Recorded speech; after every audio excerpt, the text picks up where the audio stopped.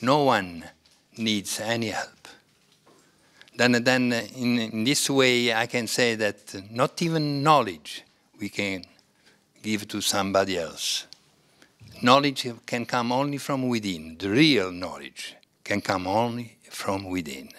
The outer knowledge is, sorry if probably you will not be, you will not agree with me, but the outer knowledge is all false knowledge, false ideas coming from somebody else, coming from people from the past, from second-hand you know, understanding, but, but the real understanding can come only from within.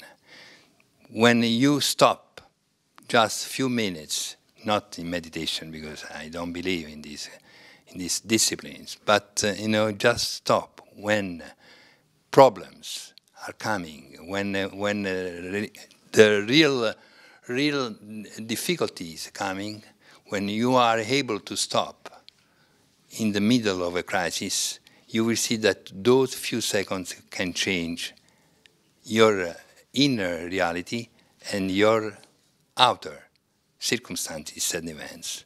Then uh, this is my experience, this is my knowledge. Try to know yourself. And more than this, try to know what you are not, which is uh, the 99% of a person, 99% of an individual. I believe that, that individual and masses have to exist and coexist.